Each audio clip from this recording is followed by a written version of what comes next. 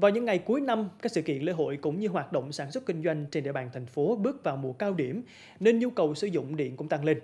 trước tình hình đó, Điện lực Đà Nẵng đã sớm chuẩn bị kế hoạch và chỉ đạo các đơn vị thành viên triển khai các biện pháp nhằm đảm bảo cấp điện an toàn, xuyên suốt cho doanh nghiệp và người dân thành phố. Công ty Điện lực Đà Nẵng cho biết, trong dịp lễ cuối năm, ước tính sản lượng điện trung bình một ngày ở mức từ 7 đến 7,5 triệu kWh, công suất lớn nhất khoảng 350 đến 395 MW. Chính vì vậy, việc đảm bảo cấp điện xuyên suốt ở thời điểm này là nhiệm vụ đặt lên hàng đầu của đơn vị. Trong những ngày qua, các điện lực thành viên của công ty Điện lực Đà Nẵng đã tích cực triển khai các giải pháp nghiệp vụ, không để xảy ra các sự cố gián đoạn.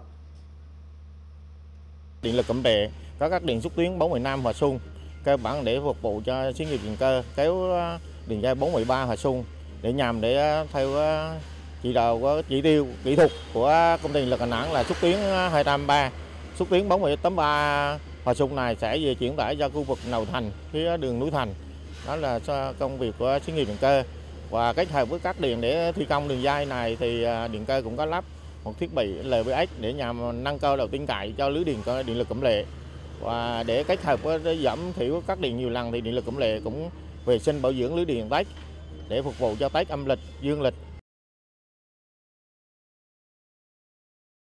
Để đảm bảo cấp điện phục vụ người dân trong dịp năm mới 2021, Điện lực Đà Nẵng đã chỉ đạo phòng điều độ phối hợp với các đơn vị liên quan tăng cường công tác kiểm tra nguồn tín hiệu các máy cắt LBS trên lưới điện cũng như hệ thống vô tuyến điện đặt tại các trạm biến áp 110 kV.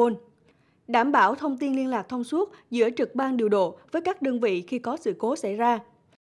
Đồng thời, công ty cũng yêu cầu đội quản lý vận hành lưới điện cao thế tiến hành kiểm tra toàn diện các trạm biến áp, đường dây 110 kV, kịp thời khắc phục các khiếm khuyết nếu có, bố trí lực lượng kiểm tra hành lang an toàn lưới điện cao áp trên các tuyến 110 kV, không để xảy ra sự cố do vi phạm hành lang tuyến. Cái lưới điện nó cũng có những cái tiềm ẩn về rủi ro, nguy cơ có thể xảy ra sự cố thì công ty cũng chỉ đạo tăng cường các việc kiểm tra bằng camera để phát hiện các cái nhiệt ở các điểm tiếp xúc trên lưới điện đường dây cũng như tại các thiết bị để mà có cái giải pháp khắc phục ngay để ngăn ngừa sự cố. Bên cạnh đó thì à, chúng tôi cũng trên cái chương trình à, mà theo dõi phụ tải chương trình IMM hoặc là CPI thì chúng tôi đã à, kiểm tra các cái mức độ tải của các trạm biến áp, đặc biệt là các cái trạm mà nó đang đầy tải. Và chúng tôi cũng có cái biện pháp để xử lý và đảm bảo là không được để quá tải.